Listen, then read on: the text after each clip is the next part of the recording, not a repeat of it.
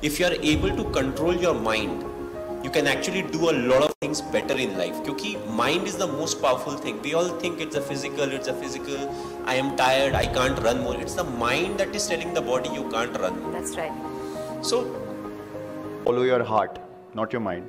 Your mind can help you make a plan, but your heart will help you apply the plan. So the more I did that, the more I realized that what my strengths are as a person and what unlimited potential we have as human beings if we don't put any tabs on ourselves. And only sport could teach me that. Um, to go beyond your limitations, the known limitations of the mind that the mind tells you, oh, well, scored runs in four innings, so the fifth one might not work. I never thought like that. I felt like